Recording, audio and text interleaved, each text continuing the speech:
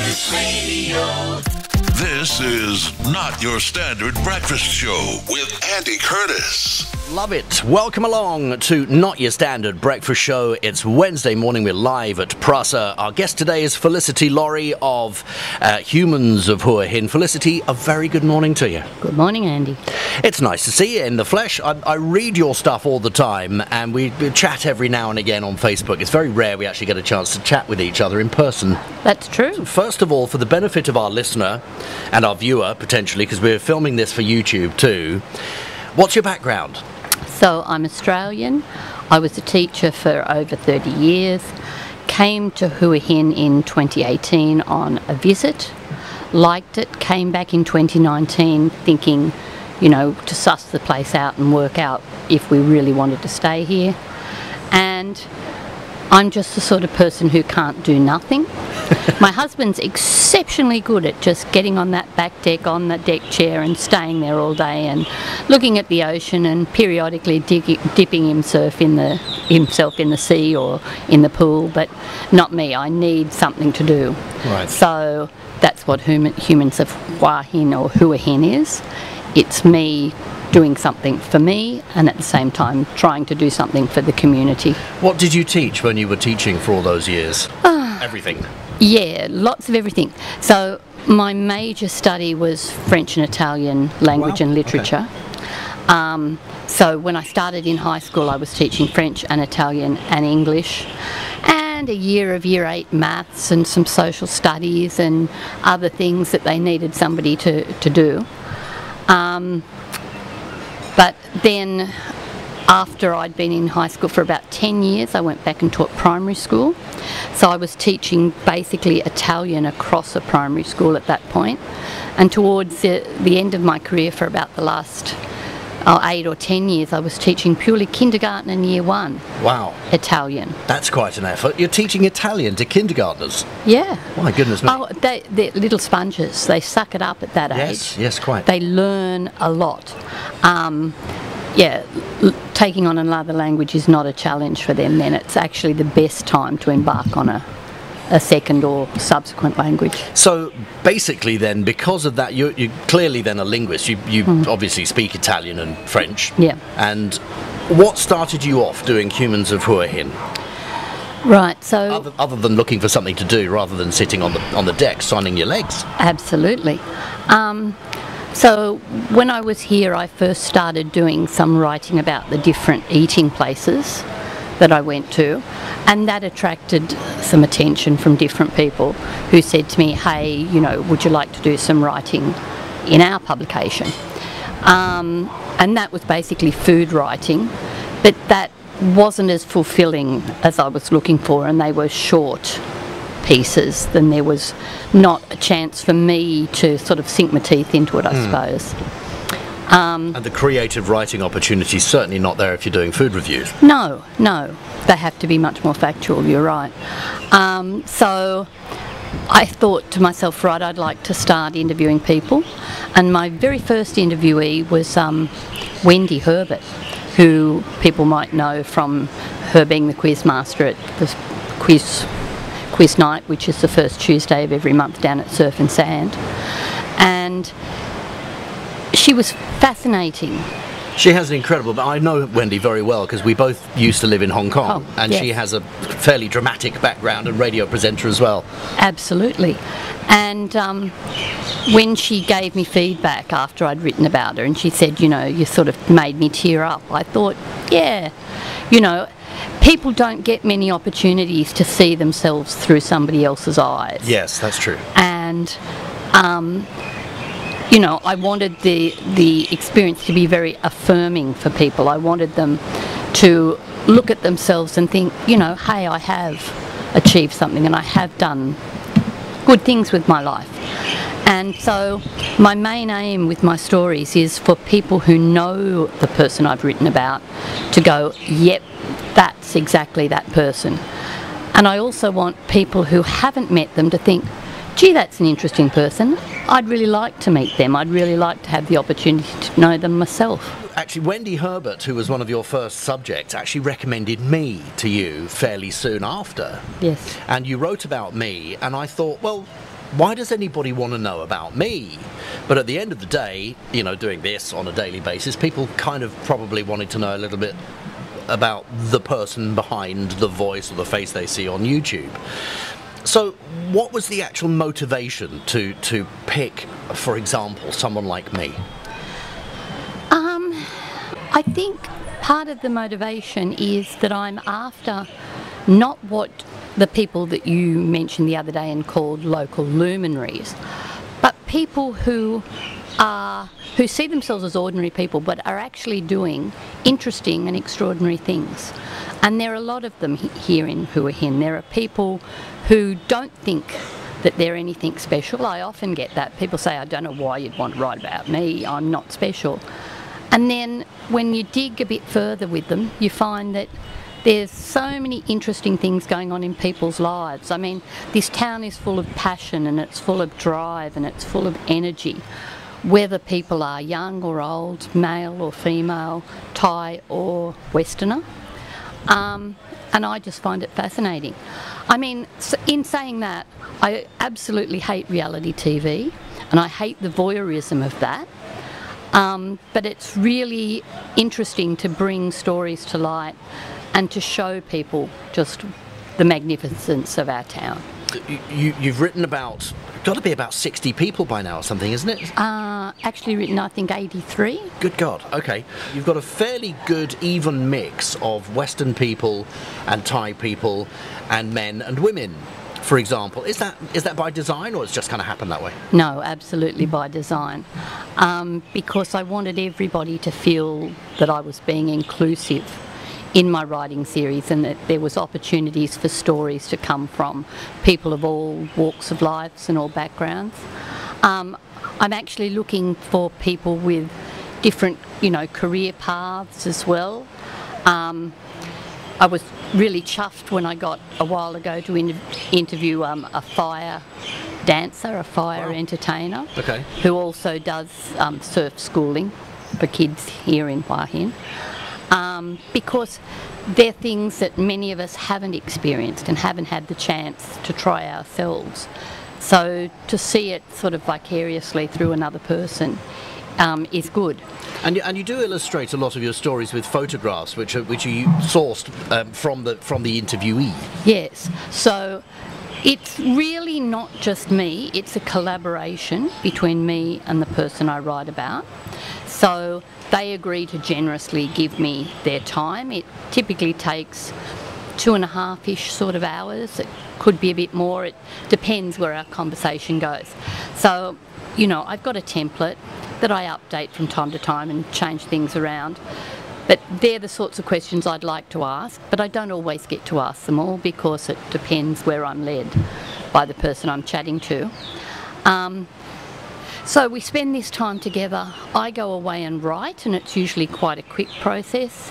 Generally, turnaround time is less than 48 hours Wow. for the person. So they get their story back, and they've got two jobs then. One is to actually um, check it, verify it, and make sure that it's factually correct. And the other one is to approve it, because I'm not going to publish anything if they're not happy with it. That's kind of unusual. Yes. That obviously would separate you from the journalist side of things. Yes, but I, I want them to be comfortable.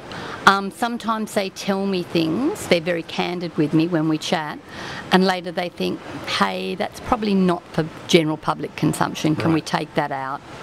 Or they think that bit makes me sound a bit too harsh or a bit too something that I don't want to be categorised as. Right, right. So they say, can we take that out? And I say, sure, because that's my promise to them. We were talking about the illustration of the stories that you publish on Humans of Hua Hin, because they're like little stories about the people. It's not an interview as such. It's not, No. um, and I and I agree that it's not done in that journalistic way. It's a snapshot. It's like a a mini biography. It's Right, not right. extensive, but it's a picture of them now and how they got to where they are now. What I've noticed also in your writing style, and particularly, obviously, I'm very familiar with it, having gone through what you process wrote. yourself. Yeah, exactly, uh, is that that you kind of. Um, it, it seems like your impression of the person Yes. is is very much the basis of the of the story about them. uh, and more often than not, you're absolutely on the nose. Hmm. It's presumably because of the questions that you're asking, or do you think that there's there's another reason for that? No, I, I think genuinely I'm a good judge of character, but it's that I listen very carefully and I'm interested in what people tell me, but also what they think and feel about what they're telling me, Right, right. which gives me a lot of information. Um, I, I would put that down to your background as a teacher because it's a very important uh, characteristic of a good teacher to be able to listen and to understand about a child, perhaps. Yes, uh, it, it, it's being observant. Um, when we chatted, we chatted over the internet Yes. um, because of COVID. And I much prefer to chat to people in person. I find it much easier. But that said, I, that was the situation that I had to face. And you know, I made a commitment to all the people that I met that way that when I came back to Hua Hin, we'd have a face to face. Right. And I caught up with every single one of them, and I'm proud of that. I say what I mean and I mean what I say. And, you know, when I make commitments to people, they can trust me. And I think that's helped me get so many different people to chat to me and to be so candid and hmm. to tell me things they wouldn't tell other people, but things that they know they should be happy to express about themselves. right. That things that they should be proud of, things that they should have no concerns about other people knowing about them. Uh, and you brought up your latest subject, who's David Froelich from Snakes of Hua Hin, who I interviewed at the end of last year when we were in our, our former location. Fascinating chap. Who recommended him to you, or did you did you dive straight in to contact him yourself? No, he's one who presented himself to me. I, I found out about him and I thought, that's the guy I need to talk to. So, normally, everybody I talk to has the opportunity to recommend two further people to me that they think have got interesting stories. Um, but sometimes stories just present themselves and they're too good an opportunity not to take. And I did hear David interviewed on Surf Radio, and I thought, you know, there's some, course, that's there's, there's there's something there, and um, you know, he told me a story, an anecdote, which I put in my piece on him, that his parents only found out just two days ago when they read the piece about something that he'd done as a 15 year old that he'd never confessed. so, you know, it, it, it, it makes me happy that people feel comfortable enough to be that candid with me.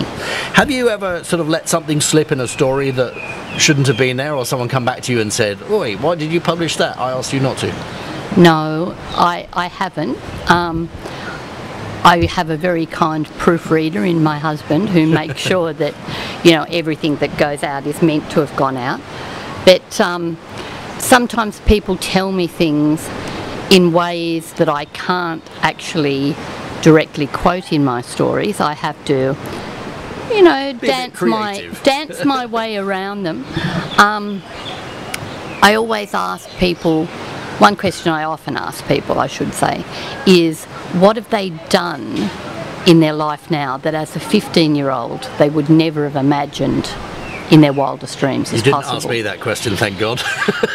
And this one gentleman's reply was along the lines of, um, you know, how many female intimate partners he'd had. oh, Yes, in, in very graphic terms it oh was. dear. And I had to, you know, when I submitted it to him, he said, "Oh, I love the way you know you've talked about the Skirted around it." ladies, you know, but but left it in, left it in because it was honest, but." Yeah, have to be a bit careful I, have- sometimes. I do have to skirt around it. Yes. Done. You say you've published about 80 odd stories? No, I have published 62 on the right. internet, Right, okay. and I've got 17 articles currently on hand. wow. um, and that's to meet the need of continuing to publish once a week during my six months back in Australia. Right. Um, you can, I, I think you can hear the waves lapping against the shore now. It's quite loud, isn't it? Yeah, it is. It's lovely. It's very pleasant sitting here outside Prasa. You should come and visit, dear listener. Uh, let's talk some more uh, with Felicitee. Uh, we kind of touched on the photographs which kind of decorate your stories.